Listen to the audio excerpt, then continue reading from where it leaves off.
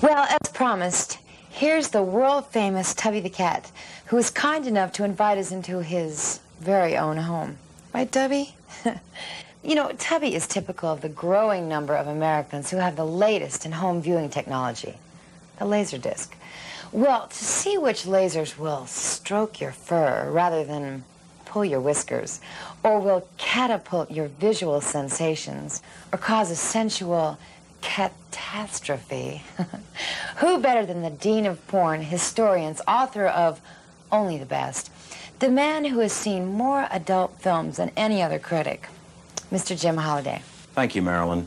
And since Tubby the Cat was kind enough to invite us into his home with Laserdisc, gives me the opportunity to set you straight on this new innovation in adult home entertainment. Take it this way if you have a videotape machine and you want to record, use beta. If you want to watch pre-recorded tape, use VHS. If you don't follow that rule, it's not my fault, you're a simpleton. Now, if you want a crisp, clear picture, Laserdisc blows beta and VHS away. You will not see a more enhanced image on your screen than with laser. And when it comes to the world of adult critics, any imbecile could get his name on every paper every month if he saw the best film ever made every month, as some people are prone to do. I don't. I saw the best film ever made 10 years ago. I've seen it at least 20 times since to make sure. It was made by Radley Metzger under the name Henry Paris. It's called The Opening of Misty Beethoven. It's quite simply the best, most erotic adult picture ever made, and we'll start off with a clip from that. And the clip you just saw is very rev revolutionary for the time in which it was filmed. Remember, it was made 10 years ago. Now, as to what's available on disc, oh boy, are you lucky, because as with video, where you've got 6,000 assorted titles to choose from, and 80% of them are crapola, the people that uh, manufacture disc have only pressed some of the very best ever made. So tonight I'm going to separate for Tubby five, four piles. We're going to give him four piles and show you some of the titles available. And they will be in the categories of superlative. They will be in the categories of couples oriented. They will be for tourists and they will be garbage. Okay, we all know that Debbie Does Dallas is available on disc. It's regarded as a classic. It's merely a little bit better than routine, so we'll put it in. Check it out. Maybe you'll like it. Now we've got something that you want just for the sound. It, uh, if you're not interested in the action with Marilyn, it's insatiable too, but it does have the stereo digital sound that makes this probably the single closest thing you're going to come to superb high fidelity in your home. And by the way, the movie's also a bargain. And Deep Throat. Everybody knows about it. It has been recut, is now uh, channeled in stereo, so that uh, if you want to look at Deep Throat, at least you'll see the same old pictures. You'll be hearing it differently. In my book, Only the Best, I did sort of a roundup. I asked 15 of my expert friends, as well as all the films that have been given awards. This film, The Ecstasy Girls, made by Robert McCallum and Harold Lime, finished fourth fourth best adult film ever made. What more can I say? This is in the superior top category. You can't go wrong with that. Right behind it, we've got Devil in Miss Jones Part 2, Henri Pachard, 1983.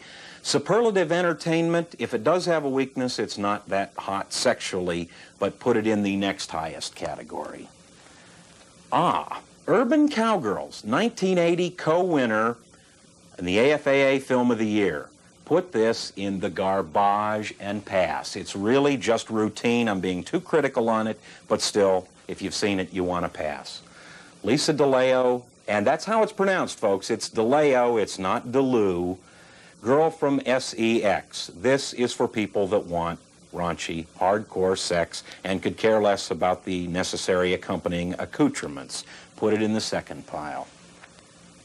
Armand Weston, 1978, this is the second best adult film ever made and the best pure film. It is as clever as you're ever going to find. Comes with my highest endorsement. It finished fifth on the poll in my book. Center Spread Girls, a perfect example of routine harmless fluff that's not bad, and you'll probably think more highly of it than I do. I don't dislike it. I just don't jump over doing cartwheels about it. Put it in the second pile. Outlaw Ladies. Ah, yes. Feminism with Raunch. Henri Pachard's 1981 Film of the Year finished 12th on the survey of all-time greatest films, and it gives the ladies the opportunity to say, hey, we're people too, and we like to screw. Also available on disc, what can I say? You know it's in my all-time top 10. This film, among my expert friends, finished second, only to Misty Beethoven. This is Insatiable, or if you want to care to pronounce it right, Insatiable. It's Marilyn's best film. Although they never say anything in there about this, Ron Jeremy plays the perfect Jewish klutz. He and Merle Michaels, it's good fun, it's good fluff, it's not particularly hot, so we'll put this in pile number three. Oh, brother. This is the reason the X-rated critics formed their own organization. This film won six awards. Uh, of the approximately 50 titles available on Laserdisc, 40 of them are worth at least a look, and probably 30 of them are honestly worth owning. This is a flat-out, absolute, 100% unmitigated piece of shit. Don't even bother. David Frazer and Svetlana, Bad Girls, the film that in 1981 introduced the whole concept of four fresh new female faces. It's fluff bunny, cupcake city, all those chauvinistic sexist adjectives that mean girls in a sex film romp.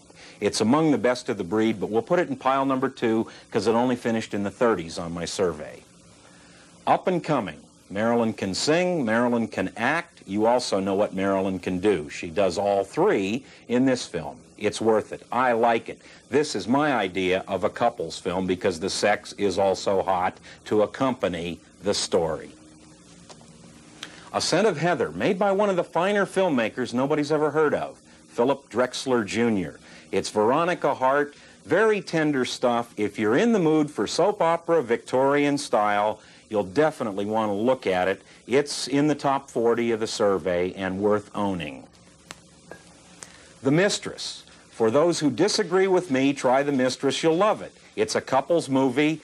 Uh, doesn't have particularly hot or erotic sex, but it does have explicit penetration. If that's all it takes to get you off, you'll want The Mistress. Put it in pile three. For reasons I can't get into, Bob Chin made this film with Hypatia Lee, Shauna Grant, and Rosalinda Kimball. The Young Like It Hot. Bob Chin said it was okay for me to take co-credit. This is kind of my movie. I won't review it, other than to say every critic gave it their highest recommendation. This is fun and fluff. And it's not supposed to be artistic. It's supposed to be pretty people doing what they do best. Bob Chin always delivers. And finally, a film that I had kind of overlooked. I'd had it in my second 10, when it came time to figure out the 101 hottest sex scenes, four scenes came from this movie. And I want you to see a clip of it right now. Probably the single hottest sex scene ever filmed with John Leslie and with a woman named Jackie O'Neill who only appeared in this film. It's called The Other Side of Julie, and it is superior eroticism with all the plot and story that modern women want. A quick rundown on Laserdisc. You know that uh, with laser, you're better off than you are with tape because you stand only one chance in about 40 of winding up with a clunker. And since those are the films, Tubby, what do you think we throw it back to Marilyn? Isn't she the cat's meow?